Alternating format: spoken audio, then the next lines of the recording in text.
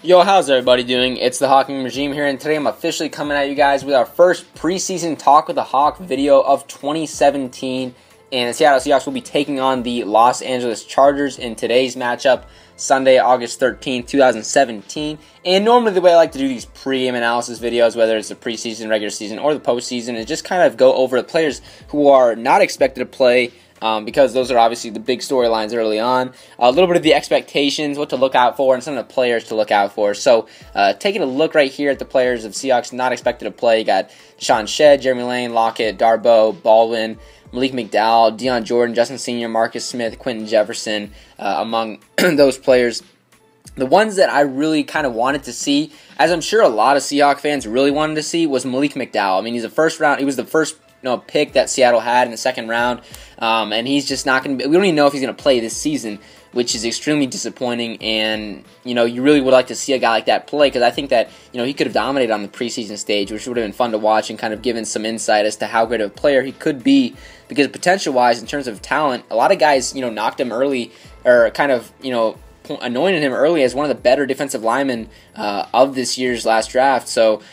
Um, it's just or of this last draft that we just had, and it's just extremely frustrating, obviously. And Dion Jordan would have been interesting to watch as well. I guess he's dealing with some injury issues. I am really excited to watch Shaquill Griffin play. That's a player I would definitely watch out for. Rookie um, cornerback that Seattle has really been high on, to be honest with you, uh, out of UCF, and you know really excited about watching him play. Um, Eddie Lacy is another guy I'm really excited about watching. I know he's not going to get a lot of minutes, uh, as will you know Rawls and Prosise. Probably won't get a crazy amount of snaps or a lot of touches on the football. You know they don't want you know football is really physical sport. You don't want these guys getting hurt. Um, so I would you know wouldn't expect them to get too many touches. But Chris Carson is another big guy that people have been talking about. Um, also, Collins, not too excited about because I've seen him play already, and I, have heard Chris Carson just done some great things. So I'm really excited about Carson and Shaquill Griffin as the two main guys, both rookies, both newcomers to the team.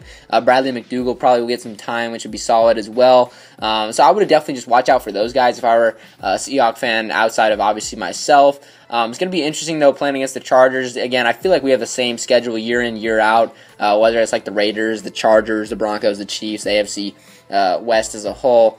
Um, but I'm still really pumped for just to just to watch this game. And in all honesty, it's been seven months since we've seen our Seattle Seahawks on the national stage, and this is just preseason, but uh, it's going to be nationally televised on NFL Network, which is going to be extremely exciting.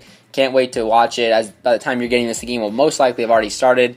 And uh, yeah, just wanted to put this video out there for you guys, a pregame analysis video of the Seattle Seahawks uh, 2017 debut for playing games in the preseason against the LA Chargers, Week One in LA.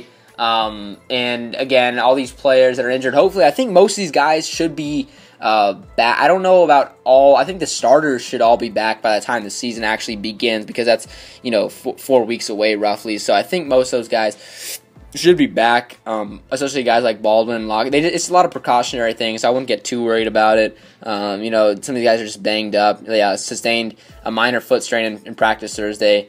And unfortunate that Darboh is not going to play. You want to see as many rookies play as possible. But again, Lacy's an excited, exciting one I want to see. Uh, Trevone Boykin throughout the years has done decent. Last year he had some good, he had a good run in there. So want him to get his confidence back. The backup quarterback position is always kind of um, something of a concern for Seattle. Um, just because Russell Wilson, you know, if he goes down, you don't really know if they have a capable guy behind him. And uh, you know, fortunately Wilson's never missed like a full game, so that's just incredible. Um, at least last year, especially because the injuries that he sustained was just kind of incredible how he continued to play. in the early bye ended up helping out Seattle, and ended up, you know, obviously eventually helping them get that 10 win season they had last year. Um, but yeah, definitely excited for this game. But that will be the conclusion of the video. Hopefully, you guys enjoyed. You know, make sure to subscribe to the channel for more Talk of the Hawk videos. I do again Talk the Hawk videos for every preseason, regular season, or postseason game. So watch out for both the pregame and postgame analysis. Postgame analysis will be coming obviously as soon as this game has hit the conclusion. So that is extremely exciting. So once again, hopefully you guys enjoy the video. And yep, thanks for watching.